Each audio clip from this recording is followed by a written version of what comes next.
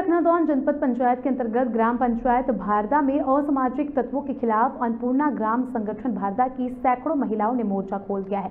दरअसल ग्राम में अवैध शराब सट्टा जुआ जैसे कार्यों को असामाजिक तत्व अंजाम दे रहे हैं, जिससे आए दिन बच्चे, युवा और बुज़ुर्ग नशे की लत में आकर परिवार को प्रताड़ित कर कलह पैदा करने कर रहे हैं और मारपीट भी कर रहे हैं। इतना ही नहीं, जब छोटे छोटे बच्चे भी ये देखकर शराब के आदि हो रहे हैं, शराब पीने के लिए जो पैसे नहीं रहते तो घर का अनाज और सामान बेचकर शराब पीते हैं, जुआ सट्टा खेलते हैं। इसी कारण घर पर माँ बहन बेटी परेशान रहती है। आखिरकार हमारी बेटियाँ बाहर कितनी सुरक्षित रहेंगी? शराबबंदी को लेकर अन्नपूर्णा ग्राम संगठन का कहना है कि सात महिला स्व सहायता समूह को मिलाकर एक संगठन तैयार किया गया है, जिसका नाम अन्नपूर्णा ग्राम संगठन रखा गया है। और हमारे द्वारा पहले भी थाने में सूचना दी गई है और फिर से अन्नपूर्णा ग्राम संगठन के द्वारा, जिसमें सैकड़ों महिलाओं द्वारा शराब, जुआ, सट्टे के विरोध में मोर्चा खोलकर लखनादोन थाना पहुँच गई, जहाँ उन्होंने असामाजिक तत्वों के खिलाफ शिकायत की। ये गतिविधियाँ समिति नहीं, बल्कि धीरे धीरे पूरे क्षेत्र में कोरोना वायरस की महामारी की तरह फैल रही है। इसी को लेकर शासन प्रशासन में बैठे अधिकारी और जनप्रतिनिधियों से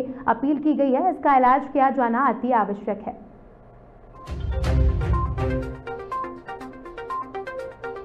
ग्राम भरदा से हैं हम सभी महिलाएँ। हमारे संगठन समूह में पचहत्तर महिलाएँ हैं सर। तो कुछ बच्चे वाली हैं तो वो नहीं आ पाई हैं।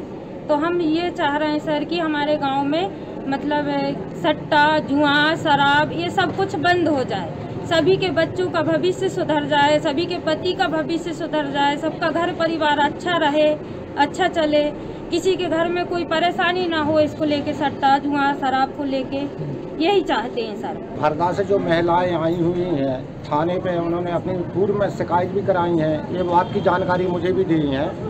और मैं मैंने भी एक फ़ोटो कापी उनसे लिया हूँ और मैंने भी आश्वासन दिया उनसे कि यहाँ से मतलब पुलिस थाना लखनऊ से इनके बारे में सट्टा जुआ के बारे में कार्रवाई नहीं होती है तो मैं अपना लेटर पैड लगा करके पुलिस एसपी के पास मैं आपकी मदद करूँगा। महिलाएँ जो आज सट्टा, जुआ और असामाजिक तत्वों के द्वारा जिस गति से क्षेत्र में एक भिन्नता फैल रही है और जिससे महिलाएँ आज हर परिवार में डरी सदमी हुई हैं।